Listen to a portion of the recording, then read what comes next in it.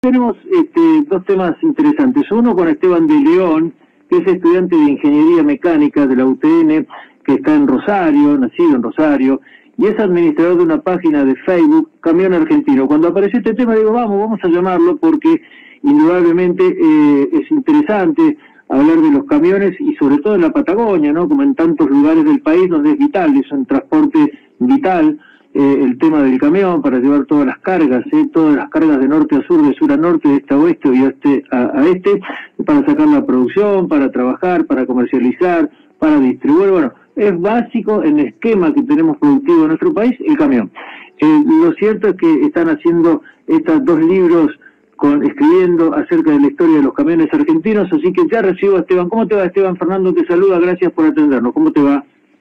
¿Qué tal, Fernando? Un gusto. Primera nota de Camino Argentino en una radio. Bueno. Así que estoy muy, muy agradecido y la verdad que muy, muy feliz y satisfecho, más que nada, porque es una temática que por ahí queda un poco de lado, especialmente la parte histórica, cultural, como bien dijiste, y la parte logística, por ahí cuando hay un par de camiones.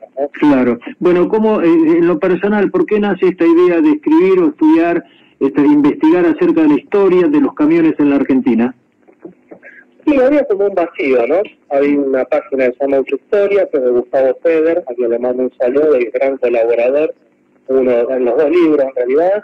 Y otra página se llama Coche Argentino, de José Luis Murgo, que falleció el año pasado, y ellos abordaban la temática del auto y de los utilitarios y comerciales. Y en su momento hubo una propuesta junto a mi amigo Emiliano Pasarelli, que también es colaborador mío, él es, sí es camionero y yo soy estudiante de ingeniería mecánica en la UTM de Rosario, y encontramos un vacío porque no, no había una base de datos como estas dos páginas, ni desde lo técnico ni de lo cultural.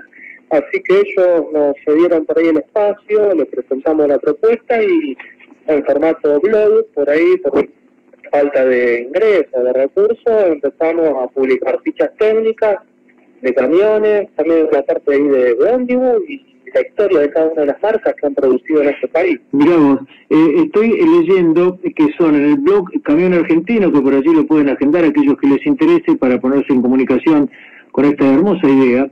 Eh, dice camiones livianos, medianos, semipesados, pesados, extra pesados y luces, chasis, plataformas y autoportantes, fabricados y o ensamblados en el país desde el año 1935 hasta la actualidad. Historia por marcas, modelos y fichas técnicas. Bueno, contame acerca este, del libro 1114, ¿no? ¿Hicieron un libro para el Mercedes 1114? Sí, eh, hicimos uno de la historia del camión, ah. eh, que es como una gran línea de tiempo, ese fue el primero que hicimos, que todavía no salió, y el del 11-14, que es el segundo libro, eh, también, eh, como es con la historia específicamente el 11-14, y un poco con la previa, los modelos previos, un poquito también un extracto acerca de Mercedes-Benz Argentina y su radicación, y después meterse de lleno en la parte histórica, en la parte técnica, a fondo, en la parte cultural, digamos, la parte productiva, la parte industrial del 11-14, porque si hay que hablar de por ahí un camión, además por ahí del Belfort, muy conocido seguramente, muy característico. El 11-14 de lo que es Mercedes-Benz, creo que debe el, camión argentino por ahí por, mayoría, ¿no? O por lo menos cómo, cómo comenzó eh, en una etapa de, de, de, Argentina, como se comenzó con una flota de camiones, eran 11-14, porque acá también hubo este, indudablemente un, cambio para bien. Este, ahora unos unos camiones increíbles, ¿no? Este, bueno, ¿y cómo, cómo podemos arrancar esta charla con la, un poco un raconto de la historia argentina eh, en los minutos que nos quedan, por supuesto, y por radio, este, Esteban de León? Este, eh, ¿Qué es lo que resaltarías vos en los comienzos de la historia de los camiones en Argentina? Sí, hay que hablar de varias empresas, como por ejemplo Hispano Argentina, que era una especie filial de Hispano Suiza de España, que empezó con camiones grandes, especialmente para el ejército argentino, esto estamos hablando del año 39, después, a principios de la década del 50, en los primeros años, se instala Mercedes-Benz Argentina, donde empieza a ensamblar camiones, primero en la planta, una planta que en San Martín, en Gran Buenos Aires, y después se muda a Virrey del Pino, en el partido de La Matanza, empieza con algunos modelos de origen alemán, como el 4500, el 3500, después evoluciona más a una línea local, con los 311, 312, que son los antecesores del Mercedes-Benz C14, el 911 también. En el año 59, en la planta de San Justo, eh, también, eh, que era de Chrysler Febre, ahí eran las marcas del grupo Dodge y de Chrysler, empiezan también a armar camiones, vehículos en general, pick-up, Ford, primero el, el, barrio de La Bosa y después el, General Pacheco, en el partido de Tigre, si no me equivoco, en el norte del conurbano, y Chevrolet también, primero en la capital, creo que en el barrio Barraca, y después en la planta que tenía en San Martín, también empiezan a ensamblar camiones, se radican básicamente estas empresas como fabricantes hecho y derecho gracias a un decreto del presidente Frondizi, a fines de la década del 50, donde había una promoción industrial básicamente del automóvil, del camión, del ómnibus, o sea, las importaciones también se empezaban a cerrar y se empezaba también a beneficiar un poco de la industria local que, estaba medianamente desarrollada, y que bueno, son varios también los... Eh, los fabricantes, ya incluso un convenio con la empresa Térmicos de Inglaterra, eh, que fabricó un camión grande, un camión pesado. Eh, después Ford fue evolucionando con la serie S de camiones, igual que Chevrolet con la serie C. Y hay para destacar en el año 69 el inicio de producción de los camiones Fiat tan populares allá en el sur, en el 99, el 97.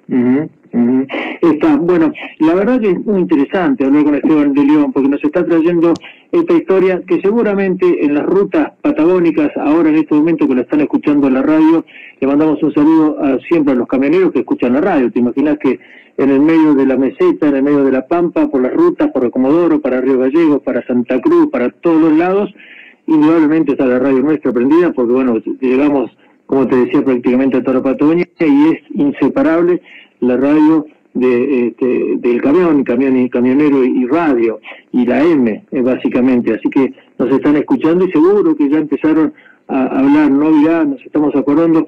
Bueno, y esto es interesante también decirlo como todo, ¿no? Como los automóviles pasó lo mismo, por lo menos en mi mínimo conocimiento, es que hubo un, como un cambio que fue en los años 80. Yo me acuerdo del 1114, cuando hablas del 1114, que es para aquellos que no lo saben, es un modelo de Mercedes-Benz, es un es un camión este redondito, bueno, frontal obviamente, eh, y con un motor 1114 justamente, que era el típico que uno veía en todos los lugares del país, en los puertos, en la ruta de la mayoría, como dijo Esteban. Pero te pregunto, ¿cuándo fue en el año 80 que hubo un quiebre que después, bueno, este, ya empezaron a venir o, o demás portes o otro tipo de tecnología? Este, ¿Cuándo comenzó esta revolución? Como los autos también, antes teníamos tres marcas, Ford, Chevrolet, Dodge 1500 y Peugeot 504, y se terminaba, o un Falcon, pero teníamos el 1114, el Ford 7000, dos o tres más, y, y para de contar, por ahí algún escaña grande, pero no mucho más. Y después vino como una revolución en esto, por lo menos para Argentina, ¿no? Sí, básicamente siempre hubo camiones grandes, siempre hubo camiones medianos, como por ahí podía ser el 1114, mm. camiones livianos como el 350 Ford, o posteriormente en la década del 80 el Brostal, no sé si eran muy ah. difundidos, eran muy particulares. Mira, como grandes momentos de la industria, como te digo, fines de la década del 50, con el decreto de servicio, la década del 60, que fue fumando marcas y modelos, principio de los 70 donde se radica Fiat Vehículos Industriales y después Magir otra más ah, Sí, sí, sí, sí, sí. Y después en el 76 está en Argentina, en Colombres, Tucumán, se mm. instala y con la apertura de las importaciones a mediados de los 70 eh, ya va cambiando un poco el panorama, entran algunas marcas de origen norteamericano, incluso radicadas acá que importaban vehículos, incluso también europeas, camiones japoneses, que no se veían desde la década del 50 más o menos, y en la década del 80 también hubo por ahí un amesetamiento, pero en la década del 70 y del 80 se favoreció especialmente el 83 en adelante, después de la guerra de Malvinas, no, un revivir de la industria nacional, especialmente, por ejemplo, Fiat, que a mediados de los 80 presenta el Fiat 150 Turbo, eh, Scania con la Serie 2 en el año 83 aproximadamente, Mercedes-Benz con el 1526 en, el 1987 y el otro gran cambio se dio en la década del 90 otra vez con la apertura de importaciones donde Mercedes-Benz presenta una línea de semifrontales nuevas, empieza a presentar frontales, Fiat, eh, que eran antes Fiat vehículos iniciales, empieza a mutar a Fiat Iveco, porque en el 75 en Europa fue Iveco, se sentaron en un cúmulo de marcas, donde estaba Mercedes y ahí Iveco se instala en el año 95 en el país, y a partir de la década del 90 ya nos vamos acoplando un poco más a lo que era el resto del mundo y terminamos siendo un poco poco efectivo, ¿no? Pero furgón de cola de lo que era Brasil. bastante Brasil dependiente. Está. Esteban, ustedes para estos libros, estoy hablando con Esteban de León, quienes están investigando y están estudiando sobre la historia de los camiones, ¿eh? y también este, los colectivos y ómnibus en el país, es muy interesante. Eh, Esteban, eh, ustedes que han estudiado la, la, historia, el tema de la de la capacidad, digamos. Esto también, el 11 y 14 era un, o es un, camión, bueno, chico, por, el tema de las toneladas, me refiero, ¿no? Ahora uno ve unos camiones que son impresionantes para llevar por allí lo mismo que llevaba el Mercedito, porque este, la cantidad de kilos, por ahí 25, 30 mil kilos en total, digamos, este, llevado por un Mercedes-Benz 11 y 14, unas subidas y unas bajadas impresionantes y se la bancaba y resulta que ahora uno ve esos camiones que tienen aire acondicionado, que, están bárbaros, la verdad que son impresionantes, ¿no? Sí, sí, igualmente por ahí el Mercedes-Benz era un camión respetable que podía llevar mucha más carga de la capacidad técnica, que de la carga máxima, realmente uno lo ve recontra cargado al 14 y a sus evoluciones que también vinieron después quedándonos Mercedes-Benz con el cruce 17, cruce 18, claro. 21, etcétera. Pero sí, sí, sí, el camión, el 1114 era un camión básicamente mediano, de 11 mm. toneladas y de 140 HP, que montaba el motor OM352, dentro de la denominación técnica del motor, y que con el tiempo fue creciendo, se fue agregando un turbo a ese motor, lo fue haciendo un poco más eh, pesado, digamos, para que aguante más kilos y se iba ayornando mm. a los tiempos. Generalmente el mercado del transporte era bastante conservador, digamos, y por ahí medio reticente a los cambios. hay que hablar de que, por ejemplo, camiones con motores turbo, recién el, el Scania 111 del año 76 al 82 aproximadamente fue el primero que instaló por mayoría el uso ya del turbo. Hoy es inconcebible pensar en un turbo. Así que bueno, eh, tenemos que ir hablando de que hubo una evolución constante y bueno, fue también de que cada vez se pueda cargar más capacidad, o sea, más toneladas que mm. puede echar el camión mm. Y con un consumo menor, con mayor tecnología, mayor confort. Hoy es como manejar un auto, incluso más cómodo que un auto. Impresionante, impresionante, una vez este, increíble. Para concluir, este, Esteban, por favor, eh, eh, ustedes están trabajando con camioneros, recogen historias de vida, reseñas. Contame, por favor, cómo, cómo lo toma la gente que está arriba del camión, ¿no?